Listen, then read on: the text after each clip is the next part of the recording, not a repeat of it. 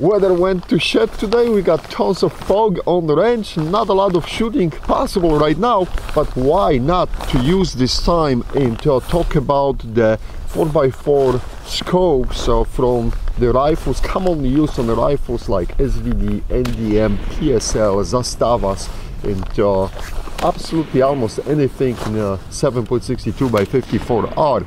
Uh, these scopes do feature very interesting reticle PSO1, uh, which was developed in the early 60s uh, by Russians and it is used all around the world to this day.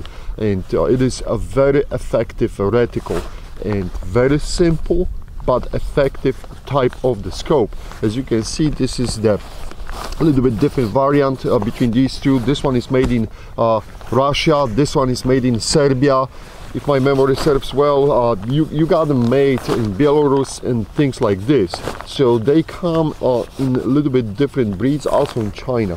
Uh, but they come in different breeds and uh, favors, but their common theme is these are all scopes designed for a basically a DMR sniper type rifles ComBlock sniper type rifles and as I said they are used uh, all across the world.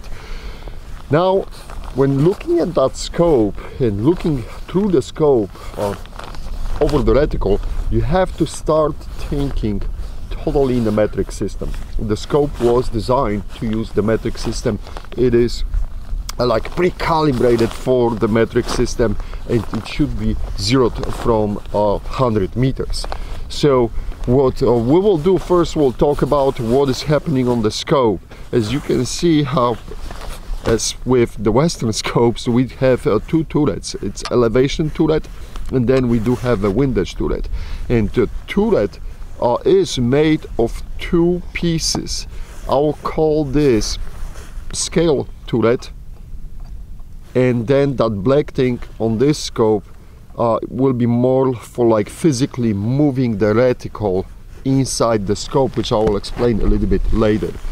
Uh, but by moving the turrets like, like this when the two silver screws are connected or tied not connected but tied to the turret what is happening uh, you basically clicking the clicks hearing the clicks and the mechanism inside the gears are uh, engaged and uh, you will be making the adjustments uh, based off those turrets uh, by turning them up or down.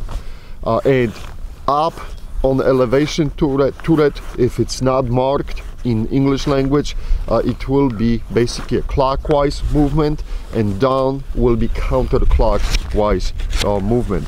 And for the left you're going to have counterclockwise movement on the windage turret and the clockwise movement on the uh, windage turret uh, as well. So something to keep in mind. But how to zero those scopes? You have to be at 100 uh, meters. You could do some little math and cheating from different distances and 100 meters is basically 110 yards but I strongly suggest to be at the 100 meters.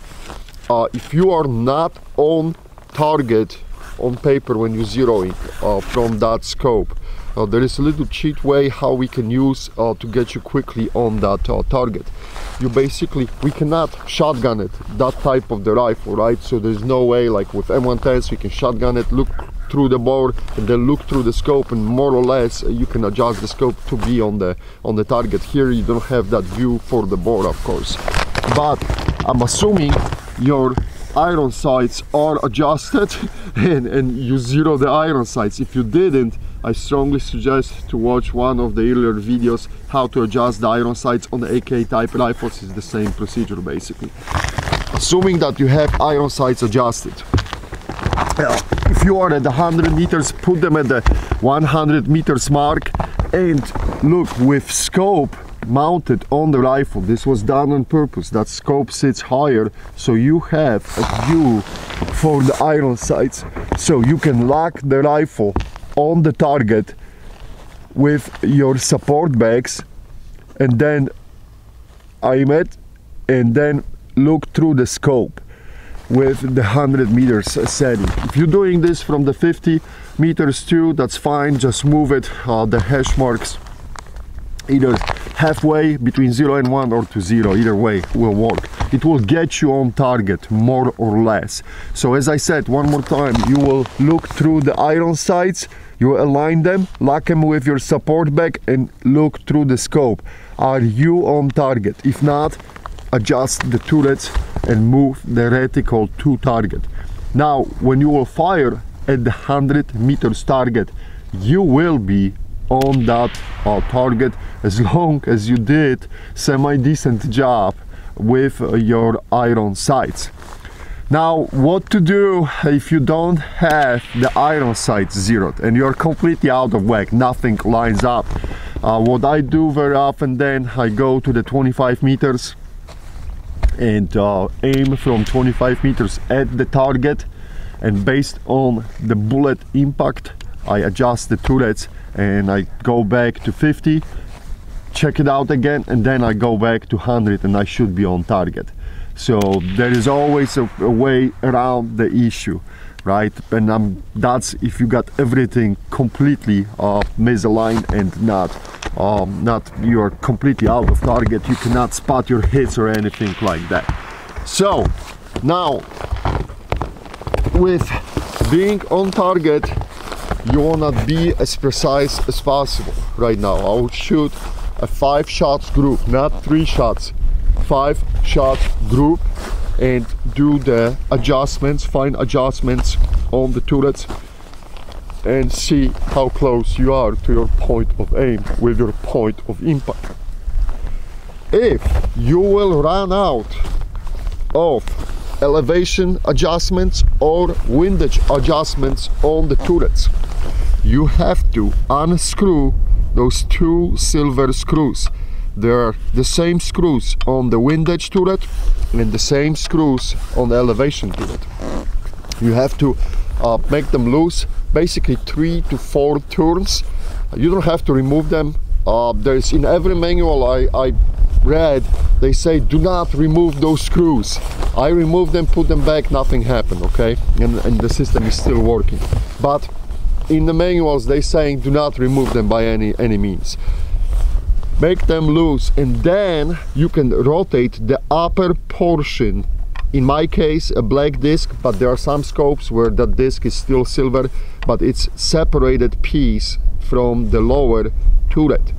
And this will move the reticle inside the scope. Or you can hold it and zero the turrets by holding the upper piece and basically twisting this to the middle of the scale or coming back to the middle of the scale. All right? And this will allow you and give you more adjustments on the turret. After zeroing the bottom turret then you have to uh, of course adjust not adjust but tighten those two little silver screws so everything uh, stays uh, put in the position. And if you have to make more adjustments again use the clicks on the turrets and uh, try to move the point of impact so it matches as closely as possible to the point of aim each click on the elevation or windage turret will shift the point of impact by 5 centimeters or roughly half mil. So each click will shift the point of impact by 5 centimeters of half or half mil from 100 meters. So that those who are familiar with mils, you, you should start getting a picture. So that's how you adjust those turrets.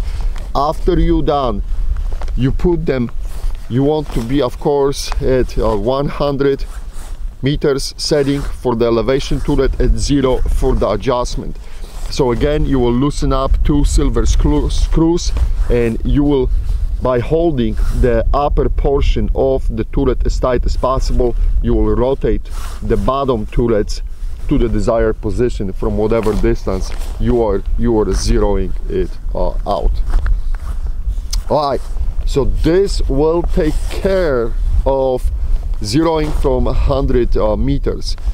Now let's talk a little bit about the reticle. in the center of the reticle you do have the aiming uh, chevron right of course when you will be aiming you want the target to be on the tip of the chevron unless you using windage corrections or you shooting at the moving target. As you can see in the reticle on the left and right side in the middle you do have a scale going all the way to setting 10 on the left and 10 on the right. Each hash mark corresponds to one mil one mil adjustment to the left one mil adjustment to the right all the way to the 10 mils. Now one mil at 100 meters quick math 10 centimeters change in the bullet uh, impact on target. It's easier to think for us in mils because you can quickly call off the wind left one mil and you will make the adjustments for the wind that way right without dialing the turret. So you can just keep moving the reticle and uh, do it that way now you also have a built-in rangefinder to the PSO1 reticle. And most common uh, setting is you will see on the left side 1.7 or 1,7 because um, the, they're using commas. So but it means 1.7 meters. This is how tall tall target should be for you to precisely uh, not precisely but to estimate the range so what is that telling you that 1.7 meters this is the height of the target which has to be fit between those lines running on the left side of the reticle to estimate the range. On some of them, I have seen 1.75, I have seen 1.8, like that scope has 1.8. Either way, it is the height of the target target you are ranging to so that's the information. If you know that something is let's say 1.7 meters and you will fit between the lines it will give you the distance to it. Why 1.7 1.8 this is where these people who are etching those reticles are playing with the dimensions of average of human. And this is measured of course one more time we're measuring from the bottom of the feet to the top of the head. That's the average what they came up with and some people may, may argue it's not really that precise. That's fine. I'm just telling you what is etched to the reticle.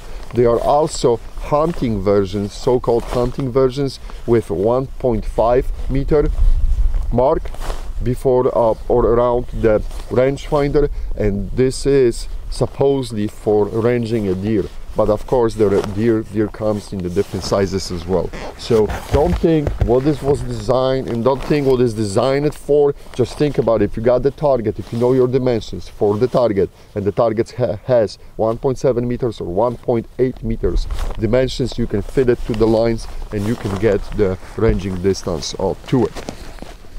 All right. In the center of the reticle we have uh, more chevrons too and those are you guess correctly basically a bullet drop uh, compensators without dialing the turret or if you will dial in and you can still you need more elevation you can use those too. Uh, I did some reverse math and I will use my cheat sheet. The first chevron under the main chevron I clock it at around 3.4 mils. So it is a 3.4 mils drop. The third chevron from the top. I clocked at 7 mils so huge gap right right there. And finally the very bottom one I measure it at around 11 and uh, 0.5 uh, mils. Now I will tell you based on the ballistics of the 7.62 by 54R that second chevron from the top will line up roughly with uh, the target at 500 yards.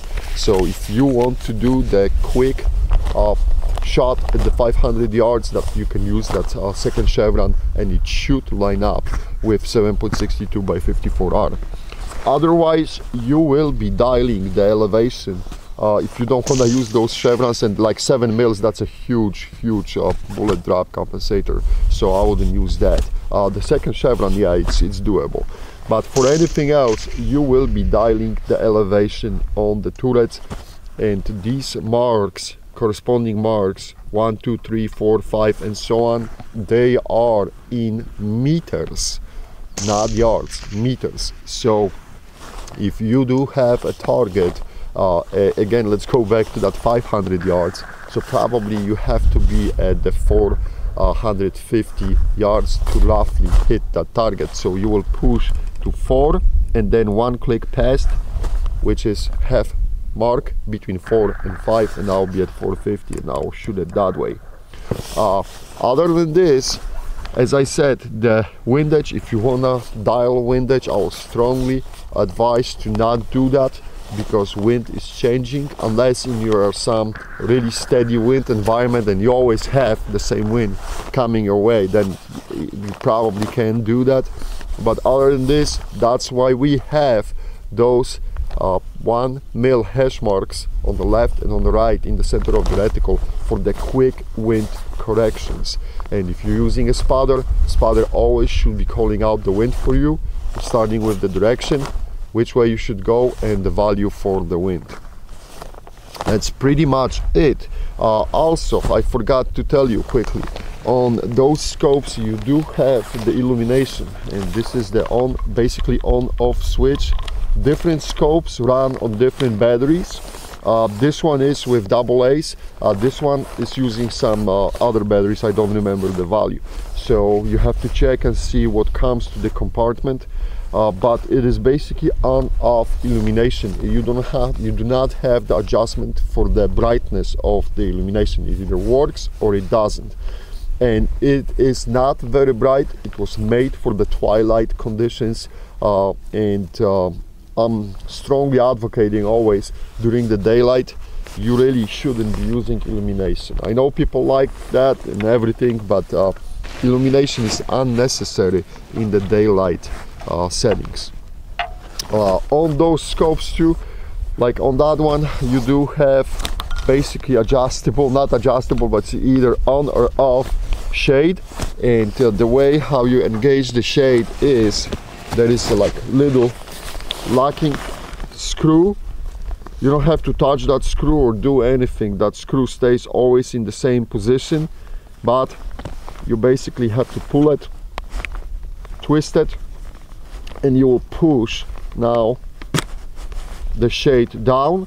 And to lock it in position you see the cutout slots here and there for that's for extended position that's for retracted position and you will rotate it to lock it. And there you go. And the shade is locked in position right now and the scope shrinked in size magically. Extremely simple solution uh, nothing nothing to it. Now we do have rubber eyepiece rubber or silicone ones depends on model uh, what you had. That's kind of neat. You can put your eye to it uh, looks a little bit dummy but it works. It helps to uh, you know put the shade uh, around your eye and shield you from the sun rays and things like this when you're looking through the scope. Now it's not really user friendly for quick engagements and things like this. I'll tell you this right away. So I I often see people taking this off so it's up to you.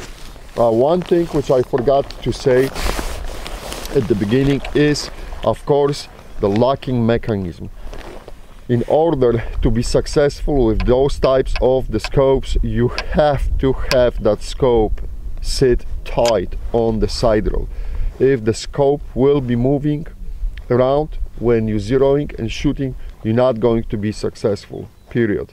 It's not that hard to adjust that tension. You just got you have to basically push this away and there is a tensioning knot uh, or it depends on the models but mostly it's a tensioning knot and if you will screw in you will increase the tension. If you will screw it out you will, you will release the tension.